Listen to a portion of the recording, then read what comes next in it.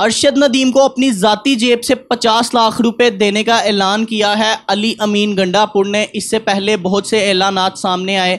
किसी ने 10 करोड़ दिया, किसी ने 15 करोड़ दिया, किसी ने 5 करोड़ दिया, लेकिन किसी ने अपनी ज़ाती जेब से नहीं, बल्कि आपकी और मेरी जेब से हुकूमत पाकिस्तान के जो फंड्स होते हैं, वहाँ से निकाल कर अरशद नदीम को प्राइज़ मनी कह लें या जो भी कह लें दी, लेकिन हैबर पखतून हुआ की हुकूमत ने ऐसा नहीं किया। अली अमीन गंडापुर ने अपनी ज़ाती जेब से पचास लाख रुपए अरशद नदीम को देने का ऐलान किया।